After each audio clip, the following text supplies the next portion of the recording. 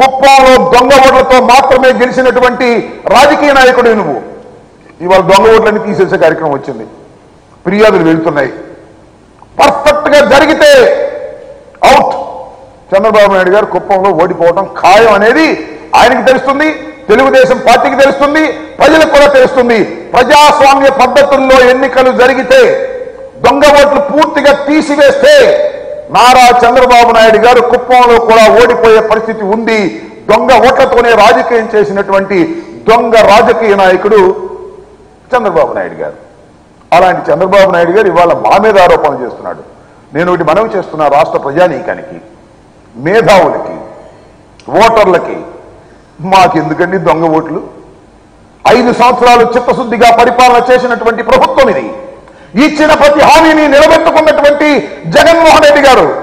జగన్మోహన్ రెడ్డి గారిని అన్ని వర్గాల ప్రజలు గుండెల్లో పెట్టుకొని కాపాడేటటువంటి ఎన్నిక ఇది. మాకసలు దొంగ ఓట్లతో పనేమిటి? శాస్త్రీయమైన పద్ధతిలో ఎన్నికలు జరిగితే నూట డెబ్బై ఐదుకి నూట డెబ్బై ఐదు గెలిచేటటువంటి పరిస్థితులు మాకున్నాయి. ఇది వాస్తవమైన విషయం. మేము మేనిపులేషన్ చేయాల్సిన అవసరం మాకు లేదు. అసలు మేనిపులేట్ చేసే లక్షణమే మాకు లేదని కూడా ఈ సందర్భంగా నేను మనవి చేస్తున్నా. మీరు ఒకసారి గుర్తు చేసుకోండి. నారా చంద్రబాబు నాయుడు గారు ఎంత దుర్మార్గుడో. ఏమండి పోయిన ఎలక్షన్లో ఏమన్నాడు? గుర్తుందా మీకు? రాష్ట్ర ప్రజానీకానికి ఎలక్ట్రానిక్ ఓటింగ్ మిషన్స్. చాలా ప్రమాదం అన్నాడు. ఎలక్ట్రానిక్ ఓటింగ్ మిషన్స్ వల్ల మ్యానిపులేషన్ జరుగుతుంది అన్నాడు ఎలక్ట్రానిక్ ఓటింగ్ మిషన్స్ వల్లే మేము ఓడిపోతున్నామని చెప్పాడు.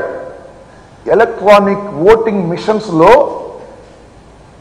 సైకిల్ కొట్టేస్తే ఫ్యాన్కి పడిందని చెప్పాడు. ఎంత దొంగవయ్యానో నాకు అర్థం కాలేదు. ఇవాళ ఏమైపోయా? సెంట్రల్ ఎలక్షన్ కమిషన్ వచ్చిందిగా. సెంట్రల్ ఎలక్షన్ కమిషన్ దగ్గరికి వెళ్ళి ఈవీఎంల గురించి చెప్పలేదే మర్చిపోయాడు.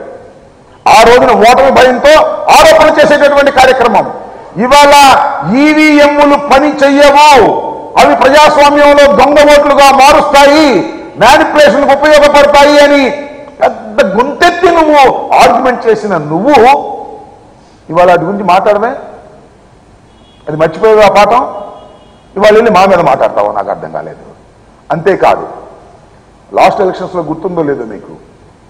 సెంట్రల్ ఎలక్షన్ కమిషన్ దగ్గరికి వెళ్ళి సెక్రటేరియట్లో బహుశా ద్వివేదినో త్రివేదినో ఉన్నాడు. వెళ్ళి డైరెక్ట్గా బెదిరించాడు. ఎలక్షన్స్లో ఆయన వెళ్ళి ముఖ్యమంత్రి స్థానంలో తాత్కాలిక ముఖ్యమంత్రిగా ఉన్నటువంటి నారా చంద్రబాబు నాయుడు గారు వెళ్ళి ఆయన బెదిరించే కార్యక్రమం చేసి ఆఫీస్కి వెళ్ళే డైరెక్ట్గా సింగిల్గా లైవ్ తీసుకెళ్ళి. ఆంధ్రజ్యోతి ఈనాడు మొత్తం లైవ్ వెళ్ళిపోయాయి బెదిరించే కార్యక్రమం చేశాడు.